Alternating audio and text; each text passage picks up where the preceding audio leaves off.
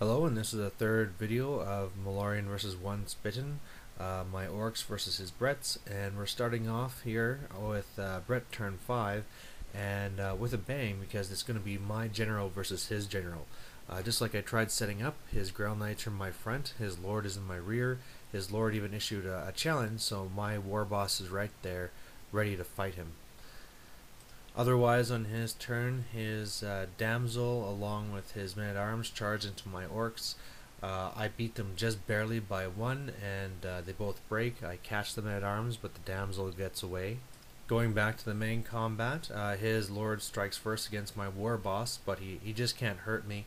Uh, he's hitting on twos, but the problem is that he's strength six with his lance, and I'm I'm toughness six as well because I have the armor of Gork that adds one toughness, and he just couldn't get a wound through from that.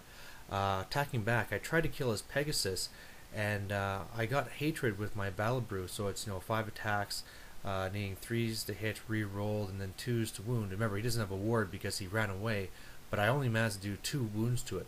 So when the Grail Knights killed six of the Orcs, uh, turned out to be equal combat res, but because he had a musician and I didn't, he won. And very nervously, I rolled the dice, but I held. So that's making me feel really comfortable now because uh, now those the Grail Knights won't be as uh, deadly in combat. And then here's just over, overview at the end of uh, his turn five. His uh, Pegasus Knights have flown up there and destroyed uh, another Chukka. Uh, my BSB whiffed his attacks against the Trebuchet, and so we're still holding there.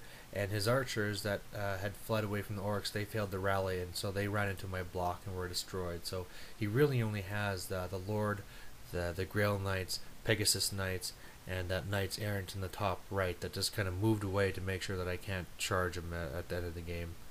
Okay, uh, turn six ogres or orcs, and uh, disaster struck. Uh, when we got back to that main battle with my war boss and orcs versus his Grail Knights and his lord, uh, again, you know, his lord couldn't hurt me, especially since he didn't have the the lance bonus. He's wounding me on sixes, and I uh, killed back his Pegasus uh, again, and, and so now the Lord's on foot. However, even though those Grail Knights don't have the lance bonus anymore, they still kill another six orcs. They were just going crazy. And so once again, it was even combat res. Once again, because I didn't have the musician, I lost by one. And this time I wasn't so lucky and I failed and I got ran down. So all of a sudden, bang, I lost uh, a unit. I lost my war boss, so another uh, 100 points in for the general. Lost the banner and uh, yeah, that was just a, a, big swing in points there. Otherwise, my uh, uh, BSB finally beats his Trebuchet. Uh, my Night Goblins luckily had turned around just for the hell of it, so it looks like they're going to be taking a charge on the front. And my Chariot had charged his uh, Fleeing Damsel just to get it off the board. Uh, I took a couple of shots at his Pegasus Knights there, and I killed one, and they, they passed their panic. So, Bret turn last turn. Here's a picture of my poor uh, Night Goblins that just saw their war boss get destroyed along with the orcs, and they're about to be charged by the Bretonnian Lord and the, the Grail Knights. Then they get charged, and they even have the misfortune of netting themselves. So it just looks like it's just going to be bad. They're just going to get destroyed. But actually, that's not how it works.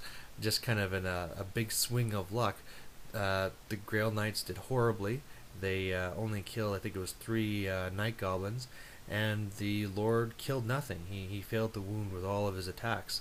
So it was a draw. This time we both had musicians, so we held. So whereas my war boss and his orcs couldn't fight off these guys, here my night goblins without any support were, were able to do it. So that's kind of a, a funny way to, to end that. And then here's just the uh, overview of at the very end. Those Pegasus uh, knights went and charged another Chukka and uh, ran down the last crew member that wasn't destroyed. And, you know, looking over the board, uh, you know, I have one banner. He has two captured ones of mine. He also has killed my general.